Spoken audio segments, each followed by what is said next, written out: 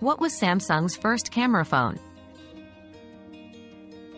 Samsung's first camera phone was the Samsung SCHV200, released in June 2000.